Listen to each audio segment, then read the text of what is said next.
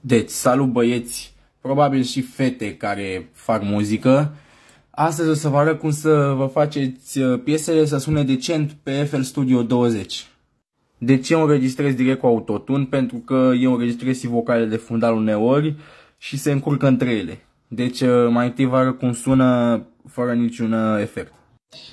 Ce e cu tine? Hai zi ce mai faci? Nu mai mai băgat în seamă Umblu noaptea prin oraș. De acum sunt coșmarul tău pe tunac Sunt ca un ostaj Vrea să îmi iau o mașină și să îi pun folia. Acum înainte să vă arăt cum sună cu efecte Mai întâi o să vă arăt pluginurile. Deci pentru vocale eu am niște pluginuri simple. Un EQ um, Așa trebuie să arate. Vă arăt și aici ca să știți cum să faceți un delay, astea sunt setările mele pentru el, un compresor, astea sunt setările, un limiter să mai scadă din gălăgie, pentru că uneori s-au foarte tare, și un reverb Pro Air. Acesta puteți să-l găsiți pe YouTube gratis, normal costă bani, dar puteți să-l găsiți pe YouTube gratuit. Ce e cu tine? Hai zi ce mai faci? Nu mai mai băgat în seamă Umblu noaptea prin oraș. De acum sunt coșmarul tău pe tunac Sunt ca un ostaj. Vrea să îmi iau o mașină și să îi pun folia.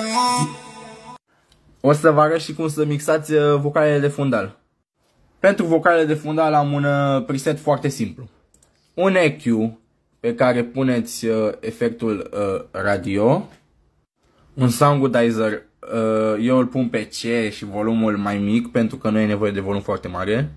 Și pentru asta un simplu reverb pentru că nu e nevoie aici pentru că sunt doar de fundal și nu prea e nevoie de reverb oricum. Și cam așa sună ambele. Ce e cu tine? Hai zi ce mai faci Nu mai mai băgat în seamă Umblu noaptea prin oraș De acum sunt coșmarul tău pe tunac Sunt ca un ostaj Vrea să îmi iau o mașină și să îi pun foliaj și acum o să vă arăt cum sună cu beat.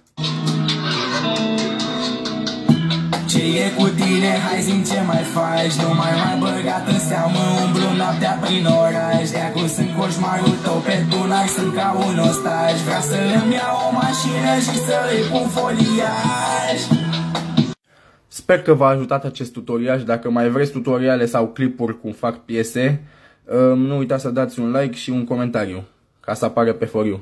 Vă iubesc!